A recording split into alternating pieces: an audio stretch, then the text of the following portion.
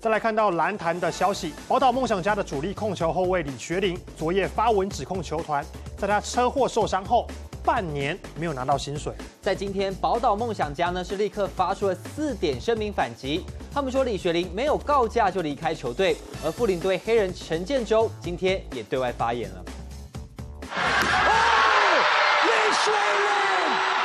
经验丰富的后卫李学林，二零一八年加盟宝岛梦想家，原本预期主掌后场，却在合约期满后发文炮轰球队。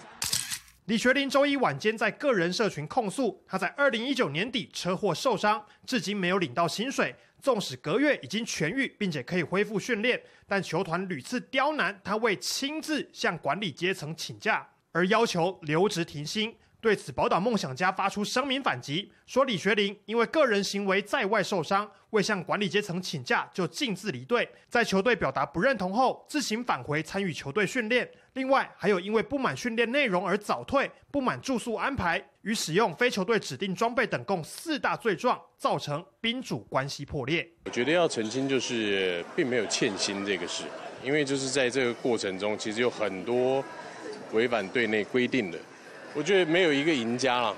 就就变成球队形象也受损，然后变有理说不清。那球员本身呢，也在退役阶段没有一个很好的